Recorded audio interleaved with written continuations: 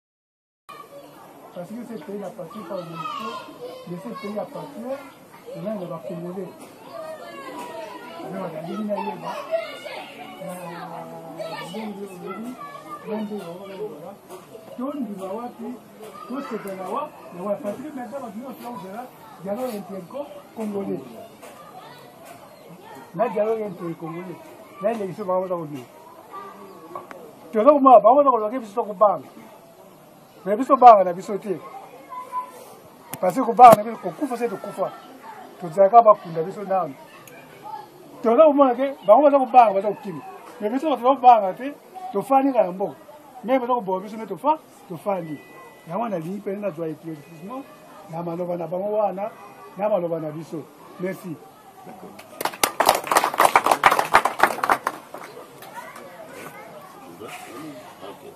merci papa ya liboso na ngai napesa bino na longonya mpo na banzembo nayoki awa nano nayoka yango te boza mpenza en avance il faut bolakisa biso mpe banzembo yango toyeba yango mpe alors euh, mpo na motuna na yo papa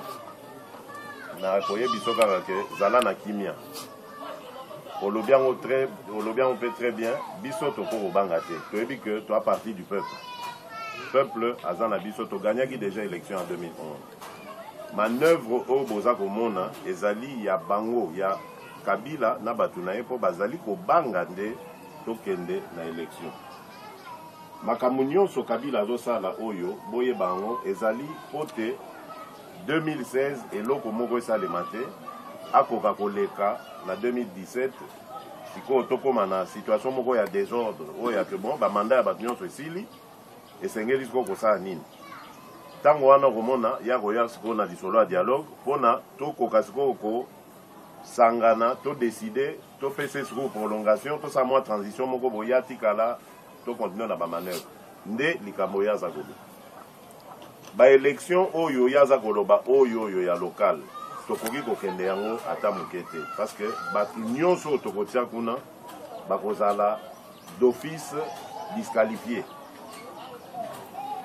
mpo na nini mpo manœuvre oyo bolandi nabanzi bolandi Likambo oyo asali ya decoupage, ntango abakisi ba provinces na mboka na, na Congo mobimba, ba provinces ekomi elongwe na 11 ekomi 26.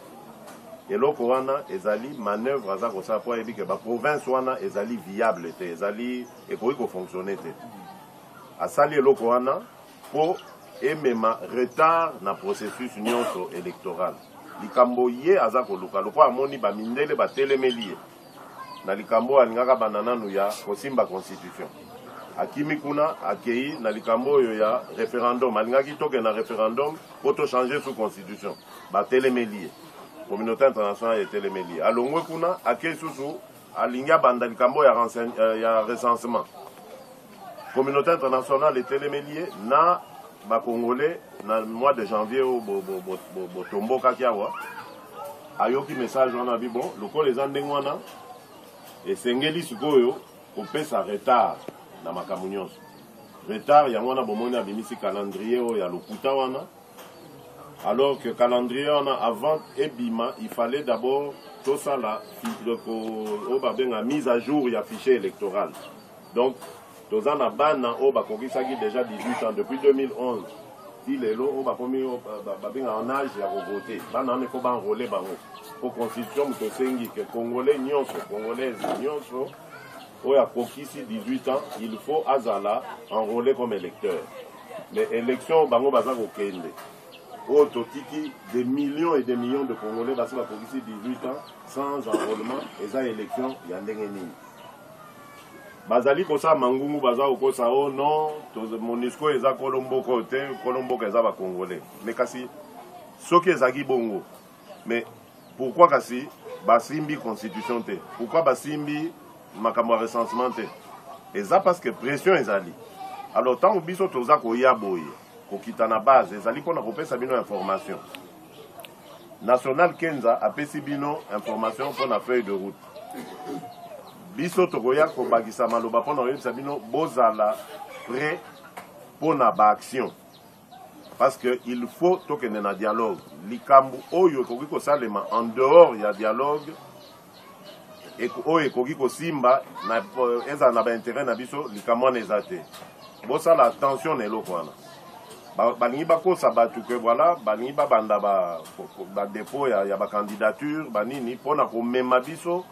na makambo ya lokuta desordre ekota na mboka il faut avant tokende na baélection toyeba combien de congolais vont aller aux élections et puis processus electoral wana ekoleka na ndenge nini mpo tozwa susu baaventure oyo tozwaki na 2011 te ba, baza kokosa bino ko voilà balingi dialogue te bango balingi dialogue mais seulement baza kobanga dialogue lelo mpo soki batoke na dialogue lelo tokosenga bango bacompte ya 2011 tokodemontre toko bango ke kabila aza président de la république te ayibi esika ebonga ya bato ya etienne tshisekedi esengeli Atika esika wana nde eloko ezobangisa bango alors biso mpe toza kolemba te tosali tour ya baambassade nyonso awa esili nano te toza kokoba epuis toye koyebisa base na biso ke bobongama mpo kala mingi te je crois ke soki baza kocontinue na kotya motu makasi tokosenga peuple atelema asenga communauté internationale likambo ya dialogue wana soki mpe communauté internationale asali, asali alandi biso te tokosenga kaka makambo esuka wana kabila asimba nzela akende mpo konyokwama eleki bato yango non seulement bayibi victoire na biso mais sikoyo bazali kotingama bazali kosala nyonso batingama batikala lisusu na motu ya mboka tokondima yango te Bozala na kimia mpo communaute internationale ezali kolanda makambo na biso de très près. Je pense que bolandi que bapesi mandat ya sika na monusco alors que baoyo baza koloba keyo mboka ya monusco te balobaki ke monusco ekende mais monusco eke te donc boza komona ke Eza mangungu baza kosalela bino awa na ba radio mais soki communauté internationale egangi bakitisi bakotisi mokila bavandi nie donc bobanga bango te tokobanga bango te beta maboko voilà donc euh, likambo ya dialogue ezali mpona se répéter ezali likambo moko eyali nzela oyo biso nyonso il faut to souhaiter parce que tozali na Congo awawa to, to viva déjà ba aventure ebele namoni ke ba papa ya mikolo bazali awa na banzi bozali ko se souvenir na 1996 président na biso akendaka na Nice Mobutu aki maladi pe na liwa président akei kuna bato babi mais Comment president aza kokende dictateur oyo moto abomi mboka bato ya sika bazoya kokota ye azokende kotombola su mobutu moto azokufa president apesaka biso réponse ayebisi biso abi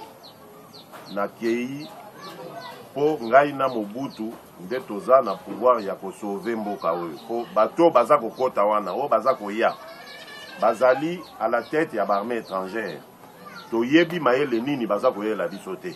yango nake koyebisa mobutu a comprendre que il faut to stoppe koya ya bato wana totya bango na fete accompli azongisi makambo ndenge ezalaki conférence nationale esengaki comme ça bandeko wana ntango bakoya bakoti na bainstitution tocontinue mobutu bandeko ne basali manœuvre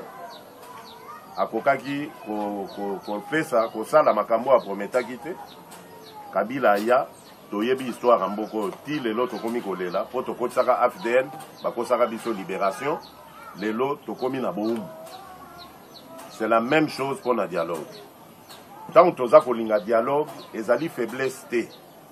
Toza kosenga dialogue tozobondela tozo Kabila te. Dialogue tozali kosenga yango mpo tozali parti politique responsable. Et en tant que parti politique responsable, tokoki kolinga te que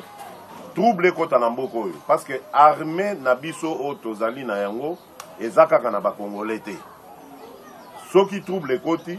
bokomona ke bato bazali kokontrole armée na biso oyo bainfiltre armée na biso boyokaka jour moko bakangi kabila balongoli ye batieli biso motu mosusu na motu ya armée wana Aza kaka continuite ya makambo oyo ya Kabila. Biso tokoki kolinga yango te. Yango toza kosenga dialogue mpo toyebi que na dialogue tokokende de manière pacifique na sortie ya crise ya mboka oyo tokokende nango toyebi ke biso moto okontrole situation na baambassadeur oyo nazali kokutana na bango ambassadeur ya france ayebisi nga boye abi bino bakongole Bozali kosala erreur entre armee ya eh, bozali ko comparer situation ya awa na ya Burkina Faso. Mais bokeba parce que na, na, na Burkina Faso tous les tous les tous les militaires bato nyonso oyo ya armée bazalaki ba burkinabé oui. mais est ce que boza sûr que na armée oyo ya bino awa mm. tous, les, tous les militaires sont des congolais non. voilà donc C'est pour ça que eza message moko très sérieux eloko wana oyo eza kolakisa que tosala erreur te eyoma d'accord soulèvement oui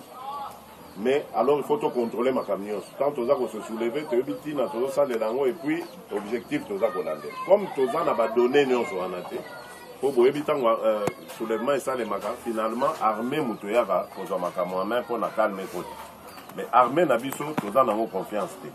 bakotiseli biso banguna ebele yango mpona kocontourne difficulté wana tobi il faut toluka solution ya mboka na biso na dialogue dialogue wana ezali mpona kokende okabola pouvoir te kabila topesa ye mandat te mpo tokende koloba na ye ke o oh non yaka kasi tokabola pouvoir azali moyibi ya, ya victoire ya, ya victoire angani il faut atika pouvoir wana nde eloko biso tozali kokendele dialogue tozoke dialogue ya kokabola na ye te kosala transition kokabola baposte ba, ba, ba, ba to continue na ye na, na moto ya mboka non tokei ntango tokozala na dialogue tokosenga bino peuple botelema bo appuye délégation na biso ekozala kuna donc na ndenge feuille de route elakisi bino ekozala biso tozopropose camp ya kabila na camp na biso bato ya changement Ntango tokokende kuna, tosengi ba, ba, ba, ba, nani ba, ba revendication na biso tokosenga wana ekoka de toutes les manières. Soki akei na ntango ya, ya dialogue te, tokolekisa 2016 te na calendrier na bango moko babimisi wana tokosalela calendrier wana mpo na élection présidentielle na législative asimba nzela akende nde yango wana tozali kolandela